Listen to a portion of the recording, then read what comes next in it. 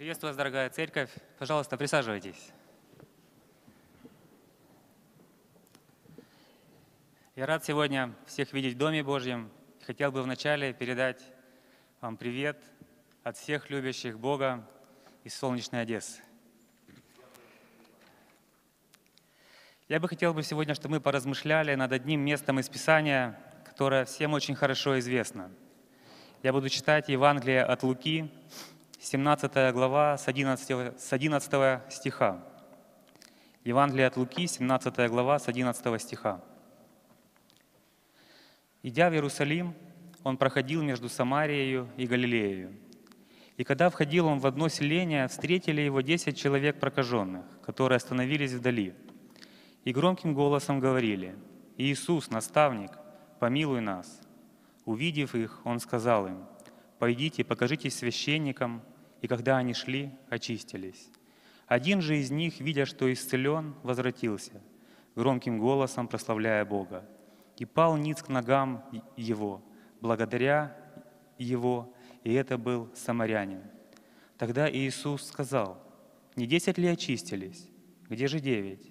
Как они не возвратились воздать славу Богу, кроме сего иноплеменника?» И, сказав, и сказал ему, «Встань, иди, вера твоя спасла тебя».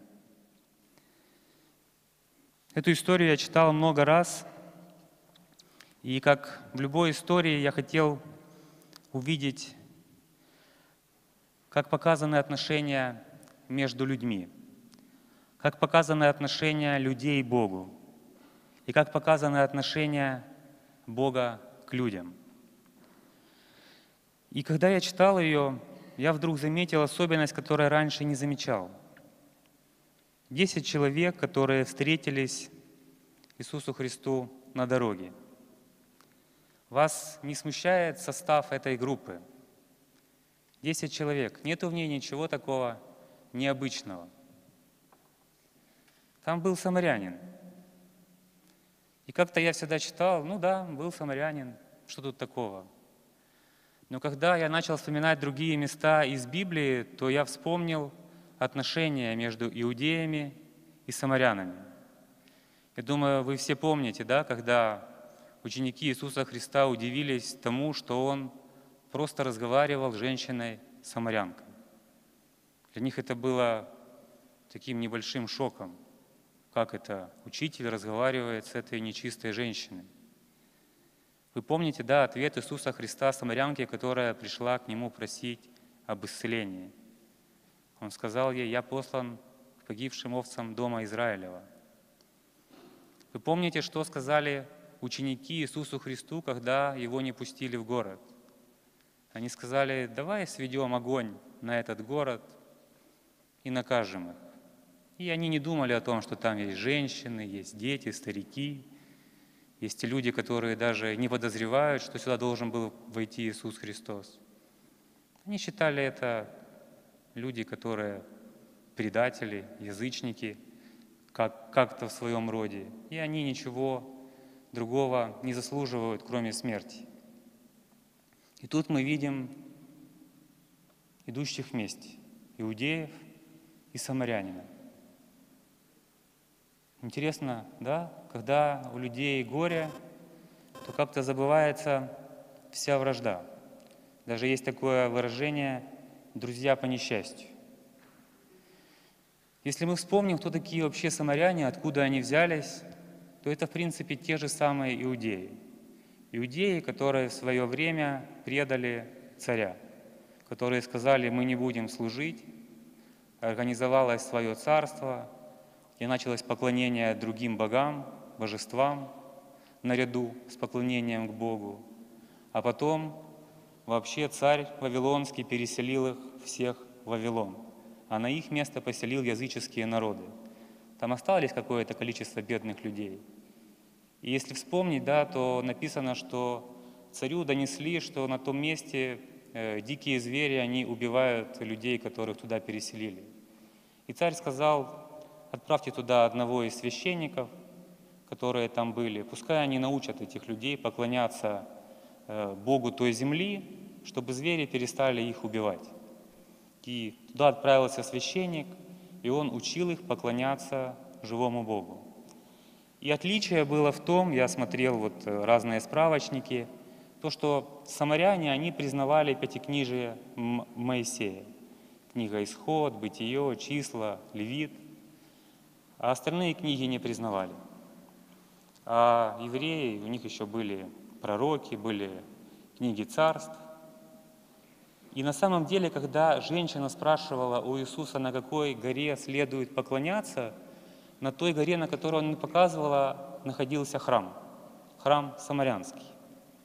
Потому что иудеи не пускали самарян в свой храм, то какой-то период времени они возвели свой храм. И мне было удивительно, я узнал, что во время Маковейских войн иудеи этот храм разрушили. Иудеи разрушили храм, где поклонялись Богу, но поклонялись самаряне. И вот такие вот у них были между собой разногласия. То есть люди, которые, в общем-то, друг друга лично даже могли и не знать. Они с детства учились ненавидеть друг друга. Родители им говорили, что вот есть такие самаряне, это нечистый народ, с которого ничего хорошего не будет, они неправильно поклоняются Богу, неправильно служат Богу, и поэтому они достойны уничтожения. И мы видим здесь, когда у них одна и та же болезнь, они забыли о всех своих разногласиях, о ненависти, которая у них была. Как вы думаете, они когда ложились спать, когда утром вставали, они молились о том, чтобы этот самарянин покаялся и обратился к истинному Богу, к такому, в которого верят они? Я думаю, нет. Я думаю, они молились, когда вставали утром, о том, чтобы все дожили до вечера. Когда они ложились вечером, я думаю, они молились о том, чтобы все проснулись утром. И их не волновали различия в обрядах, различия в том, какие книги они признают или не признают в Библии. Они думали только об одном – как бы прожить еще один день и как бы еще одну ночь перенести все вместе. Очень напоминает отношения между людьми. И также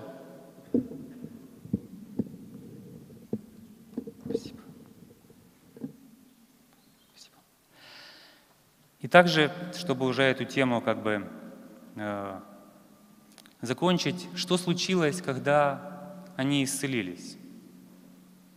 Что произошло? Буквально в течение там, получаса, может быть, часа, да, потому что мы видим, самарянин возвращается на то место, где он получил исцеление, он понимает, что он еще застанет Иисуса Христа, что еще недалеко ушла эта группа. Он точно уверен, что он найдет его для того, чтобы поблагодарить. То есть буквально они начали отходить, может быть, отошли километр-два, и они увидели, что они исцелились. И мы видим, что возвращается один человек. А где его друзья? Почему они его не остановили? Ведь на самом деле они спешили совершенно не зря. Если мы почитаем закон, то даже после исцеления они еще читались нечистыми людьми. То, что у них уже не было проказы на теле, это не означало автоматически, что они могут зайти в свои дома, выбросить свою одежду, сжечь и жить как обычные люди. Если мы посмотрим здесь носку, мы увидим в книге Левит, что они должны были прийти к священнику, даже не они должны были прийти к священнику, они должны были позвать священника, тот должен был выйти из города, потому что они нечистые, они не могли войти в город. Там провести с ними обряд очищения, и еще после этого обряда очищения семь дней они не могли зайти в свой дом. Они уже могли войти в город, но в свой дом они зайти не могли. И только на восьмой день, уже когда священник увидит, они должны были сбрить волосы, брови, когда священник увидит, что действительно проказа нигде нет, он должен был провести с ними еще один обряд очищения, принесения жертвы, и после этого только они объявлялись чистыми и могли зайти в свой дом. Поэтому я понимаю тех девять человек, которые торопились побыстрее к священнику. Потому что уже каждая минута казалась очень длинной, когда ты уже понимаешь, что ты можешь вернуться в свой дом. Но один развернулся и пошел назад. И я думаю, тут они вспомнили, что даже если они его позовут, в тот храм, в который они идут, он с ними пойти не сможет. Если они придут самарянином к себе в селение, где самарян презирают, на них будут показывать пальцем. Смотрите, с кем они завели общение, пока были там в пустыне, в этих нечистых местах. Как быстро человеческое мышление, оно меняется. Да, покуда у нас есть общее горе, мы как-то стараемся держаться друг друга. Как только они почувствовали исцеление, они стали уже не 10, а они стали 10 минус 1. Они стали уже иудеями и самарянами. До этого они были просто прокаженными. А после того, как получили исцеление, стали иудеи и самаряне. Тоже очень напоминает отношения между людьми. Интересно мне еще, я обратил внимание, их отношение к Иисусу Христу. Они не обращаются к Нему, Господи, не обращаются к Нему как-то вот, да, показывая, что Он э, святой человек, а они обращаются к Нему наставник. Я думаю, это не зря, что им даже в голову не может прийти, что перед ними находится Бог. Я говорю о том, когда они еще просят Его об этой милости. Им даже в голову не может прийти, что Бог может находиться в таких условиях. Вот на этой пыльной дороге, идя своими ногами, ходить с обычными людьми, там, где ходят прокаженные, они это понимали как никто другой, потому что они в чем-то оказались вот в таком месте, в таком положении, когда они имели все.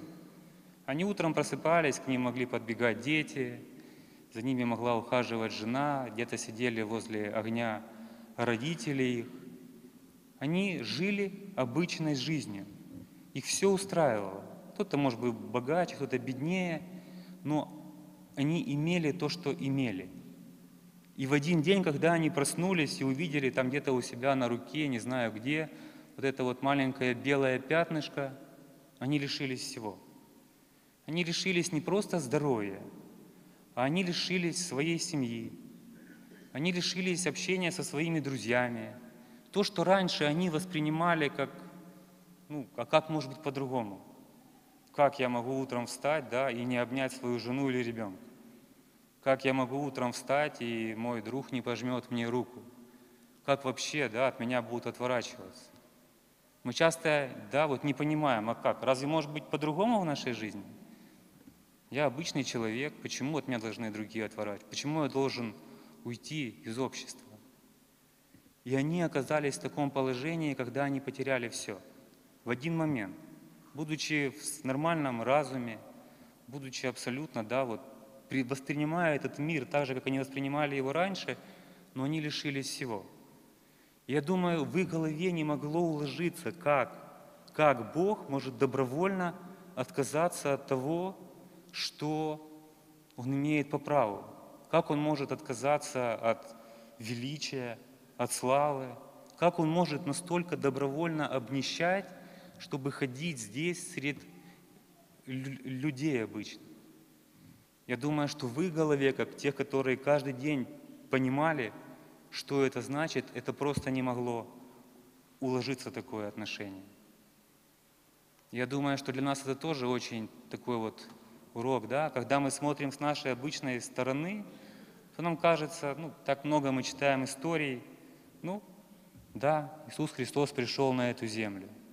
Но если мы посмотрим, немножко опустимся ниже, с точки зрения человека, отверженного обществом, потерявшего все, то, я думаю, нам станет понятнее, да, насколько обнищал наш Господь.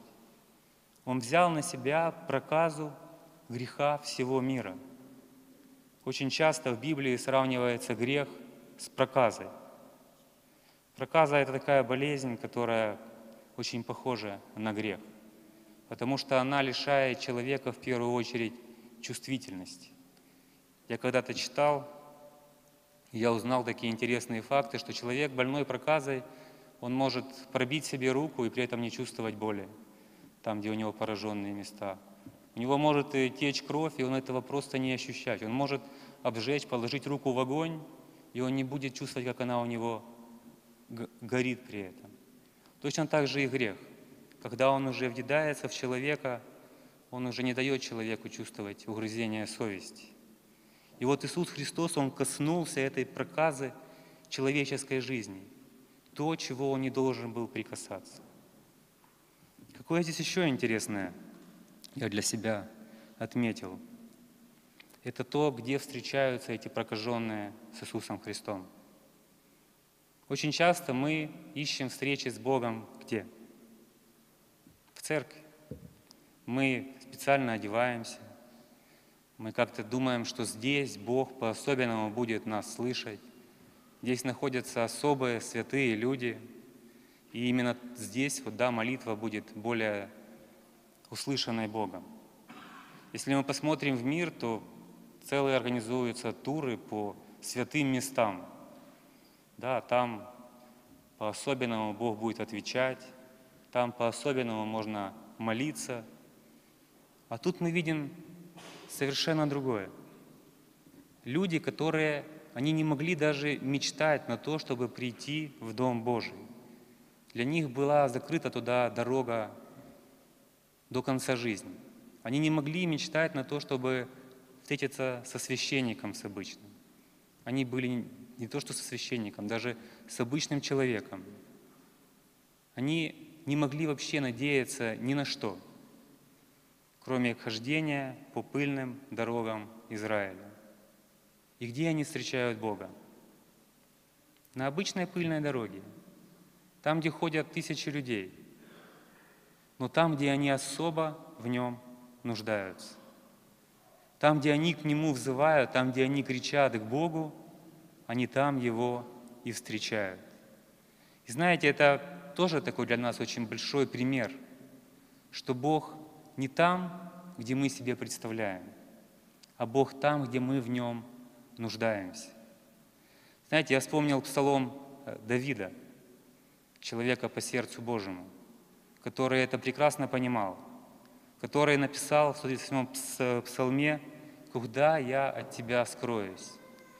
Зайду ли на небо, Ты там, спущусь ли в преисподнюю, и там Ты, уйду на край земли, и там тоже ты. И это удивительно, когда мы это понимаем в нашей жизни, что Господь, Он всегда рядом. Могут быть такие моменты в жизни, когда кажется, что отвернулись все люди, когда нас никто не слышит и не понимает. Может быть такой вот момент кажущегося безмолвия. Но когда мы взываем к Богу, у нас не должно оставаться никакого сомнения, что Он тот, который слышит нас на любом месте, в больнице, в высоком кабинете, на учебе, где бы мы ни были. Бог везде слышит тех, кто нуждается в Нем и кто к Нему вызывает.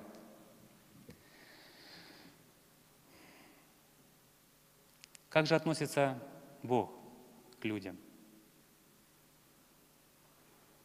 Прежде чем к этому перейти, я хотел еще задать один вопрос. Как вы думаете, чем отличается вера этих людей?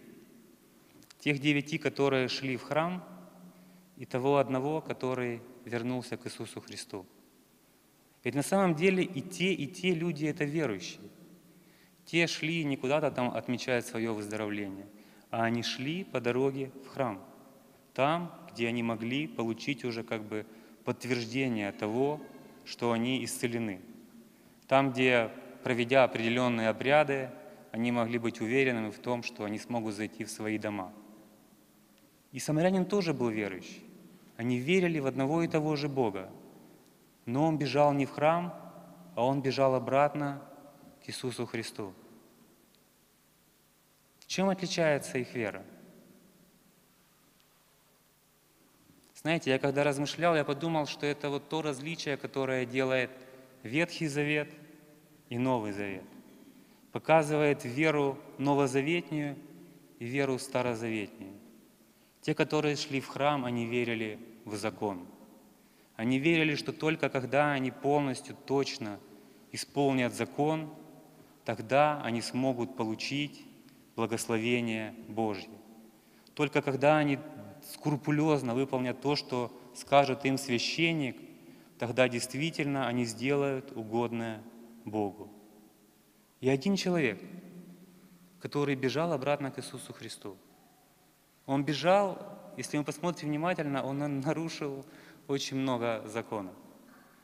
Ведь даже будучи исцеленный, он не мог приблизиться к людям, потому что он был еще нечист.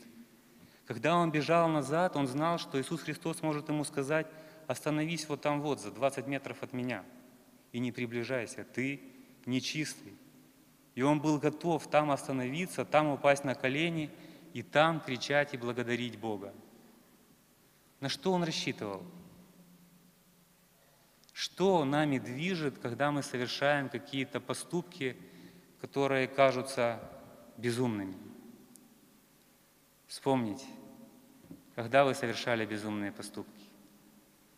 Что, может быть, да, когда мы, нам все равно, что о нас подумают другие люди. Когда мы любим. Когда мы любим, мы совершаем безумные поступки. Я думаю, что те, кто любят, они это понимают. Когда нам все равно мнение других. Он бежал, он знал, что он будет благодарить Бога, а рядом будут стоять люди, которые его презирают, иудеи. Ему было все равно. Написано, он пал перед Иисусом ниц. То есть он не просто стал на колени, а он лег своим лицом в дорожную пыль. И ему было все равно, что о нем скажут, что о нем подумают. Его просто вот эта любовь переполняла, и он не знал, как он может еще по-другому выразить ее Богу. И тут интересна реакция Иисуса Христа. Это, кстати, очень редкий такой пример в Библии, когда люди приходят к Богу, получив обещанное. Я пытался вспомнить, да, вот кто еще перед Иисусом Христом падал ниц. Я вспоминал людей, которые падали, прося о чем-то. Которые, да, там кто-то находился в болезни, была какая-то нужда. И тогда мы падаем ниц и умоляем Бога.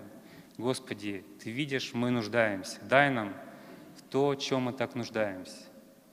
А тут мы видим другую ситуацию.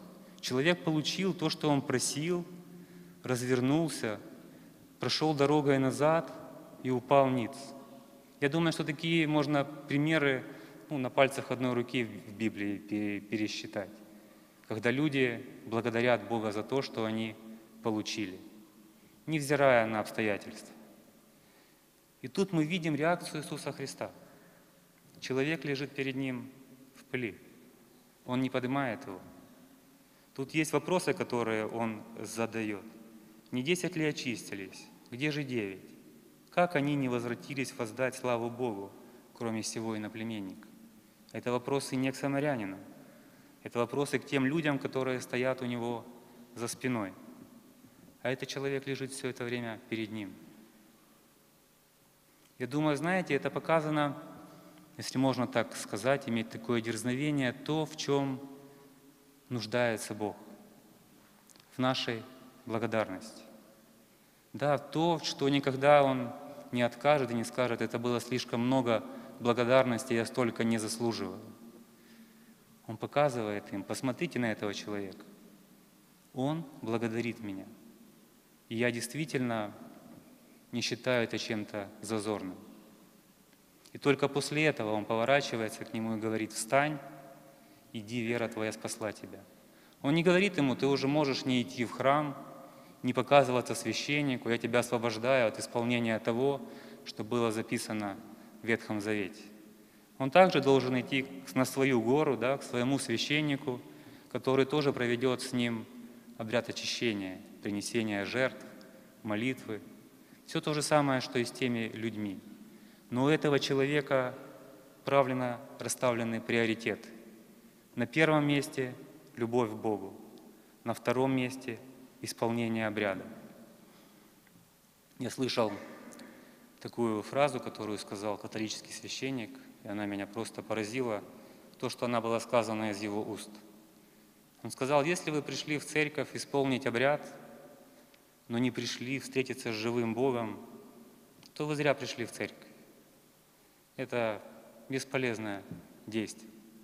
Богу неугодны обряды.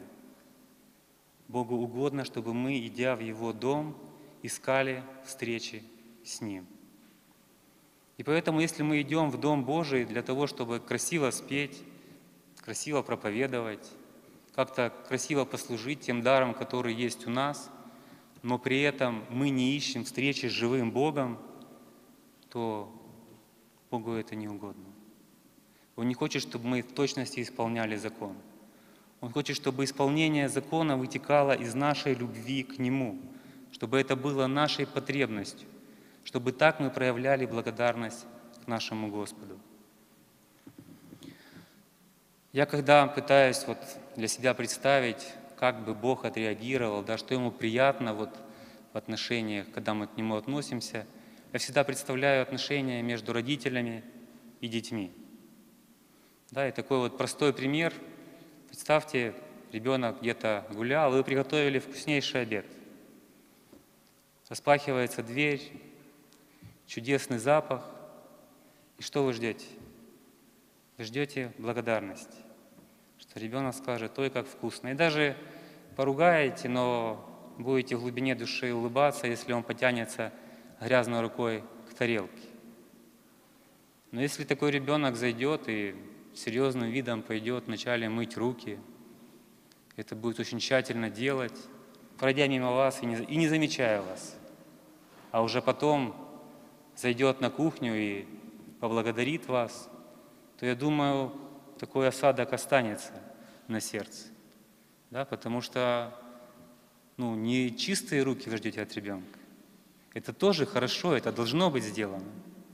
Но мы ждем в первую очередь благодарности. А за что благодарить Бога, если я ни о чем не просил? Я не болею. В общем-то, ни в чем особо не нуждаюсь.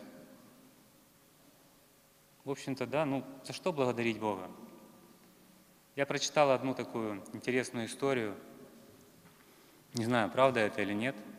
Один человек уже пожилой, вышедший на пенсию, может быть, я что-то путаю, но он вот посмотрел в Библии, где написано, что жизнь человека 70 лет, при большей крепости 80. И он посчитал 70 лет, сколько это дней. Отнял оттуда тот возраст, который у него уже был, получилось какое-то количество дней. Он зашел в магазин и купил вот количество шариков по тому количеству дней, сколько ему осталось до 70 лет. Взял большую емкость и наполнил ее этими шариками. И потом каждый день он вставал, брал из этой емкости один шарик и выбрасывал его. И пришел тот момент, когда он выбросил последний шарик. И он пришел к такому интересному выводу. Он говорит, сейчас для меня каждый день – это подарок Божий. То, что написано в Библии, то, что Бог обещал мне, до 70 лет я уже это прожил. Поэтому сегодня каждый день для меня это подарок. И поэтому, поверьте, то, к чему мы привыкли, то, что мы считаем, что а как может быть по-другому? А на самом деле это подарок Божий. На самом деле этого может быть завтра не быть. Этого может быть не быть через час, через два. И поэтому, поверьте мне, нам есть за что благодарить нашего Господа. Если есть в сердце какая-то у нас неудовлетворенность, неприятности на работе, может быть, неприятности в семье какие-то, недомолвки, и мы начинаем роптать на Бога, почему так, почему вот у меня так происходит. Поверьте мне, есть люди, которые живут по-другому. Если вы хотите благодарить Бога, Возьмите, сварите дома маленький казаночек супа. Возможно, у вас через дорогу находится больница. Зайдите в нее. Я вас уверяю, там найдется человек, которому этот казаночек будет очень кстати. И вы увидите, что то, что вы имеете, Это очень много. У меня есть очень хороший друг, верующий друг. Но так случилось в его жизни, такая была воля, что он родился с церебральным параличем. Причем родился не потому, что это был рожденный недуг, а так, потому что так врачи провели роды, сломали позвоночник при родах. И вот он сейчас немножко ходит, но больше ездит на коляске. И однажды мы с ним выходили из дома престарелых. Мы там пробыли час, может быть, полтора. И он повернулся ко мне и сказал такие слова. Он очень любит Бога. Вы не думайте, это не атеист, не человек, который далек от Бога. Это человек благословения для очень многих. Он повернулся ко мне и сказал, Юра, ты знаешь, а у меня в жизни очень даже все хорошо. Я это понимал, ну, как бы понимаю это я, как человек, который стоит на своих ногах, который может сам за собой ухаживать. Услышать это от человека, который сидит в коляске, для меня это было потрясением. Я действительно понимаю, что я имею за что благодарить Бога. И сегодня хотел еще раз нам напомнить, что действительно благодарить Бога – это то, что мы всегда можем, на любом месте, где бы мы ни были. Не надо нам искать, когда Бог нас вытащит из какой-то трясины, когда мы будем болеть и потом выздороветь, надо нам искать, чтобы благодарить Бога. Тем более, что очень часто мы забываем это делать. Я смотрел на свою жизнь, и я вспоминал, как много было ситуаций, когда я просил о чем-то у Бога, я получал, и как-то вот очень быстро забывалось о том, что действительно в этом нет никакой моей заслуги, а это только по милости Божьей. Я думаю, не зря эта история оставлена здесь.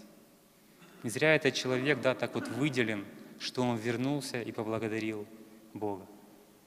Давайте будем не забывать благодарить нашего Господа за все Его милости, а самое важное – за спасение, самое важное – за надежду, которую Он подарил нам – за то, что когда мы просыпаемся утром, мы понимаем, что этот день, он не просто прожитый день, который нас приближает к старости, к болезням, к немощи, а это еще день, который приближает нас к вечности с нашим Богом. Благодарить Его за то, что мы имеем надежду в наших сердцах, что эта жизнь нам дана не зря, что это всего лишь навсего какой-то короткий промежуток – короткое испытание, экзамен. Но мы имеем надежду, которой сегодня лишены многие люди, которые не познали Иисуса Христа. И поэтому, поверьте, нам есть за что благодарить нашего Господа. Давайте мы сейчас тоже встанем и поблагодарим Его.